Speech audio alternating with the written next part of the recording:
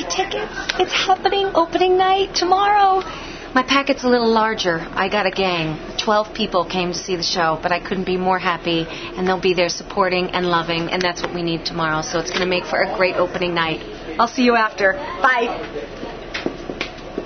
Hi, how are you? I'm putting my makeup on. Obviously. We got a big, big opening night. Big opening night. Huge. It's going to be good. I'm really looking forward to it. It's going to be such a great time tomorrow, and it's such a good time to just kind of relax with the cast and crew and creative team tomorrow night after we have this great performance tomorrow night. It'll be fun. One more day. Yeah. We're just going to get through Saturday and keep our energy up to Sunday. Opening night. Yes, I think we're all waiting in anticipation and with bated breath. So, uh, yeah, I think everyone wants to get to it. I've just set my hair for the opening night party. I feel like 48 hours should be enough to achieve the curl that I'm looking for. Hi, how are you? Castcom. I'm looking forward to the opening and have pressed white strips on my teeth. Can't really talk. Brother's wedding, which of course she had to do that, and it gave me an opportunity to go on for the first time.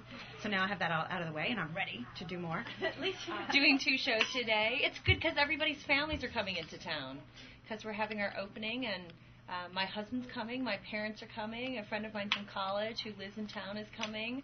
Hi, good. How was yesterday? My parents just got here, and my boyfriend's here, and my brother's in Africa and just got malaria, but he's fine. But we're thinking of him here during opening. He's totally fine.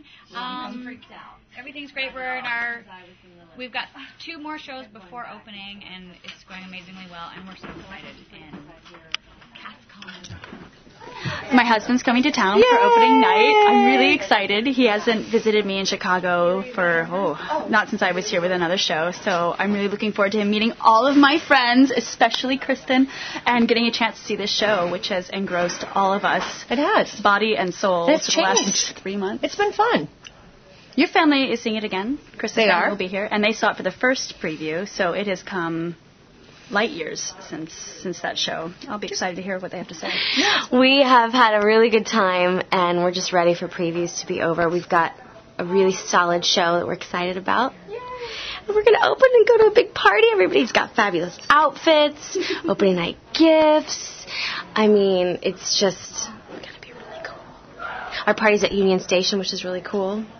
And um, it's just, we're really excited. We really can't wait. Oh my God, we can't wait. Okay, bye, Castcom.